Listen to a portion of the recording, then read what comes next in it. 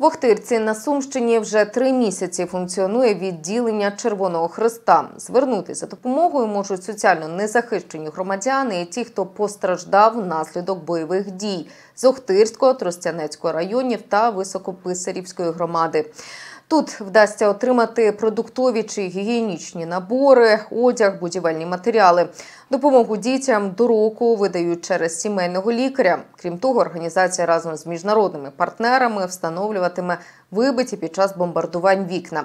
Наразі для людей, що переходять на індивідуальне опалення, діє програма допомоги проєктування газових мереж. Благодійники намагаються покращити і психологічний стан громадян.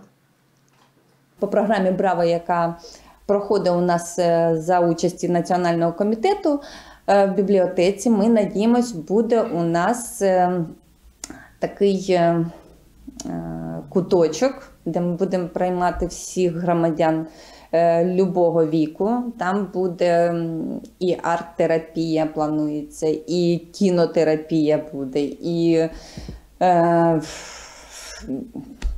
психологічна підтримка буде для всіх, для всіх, ну, для любого возраста.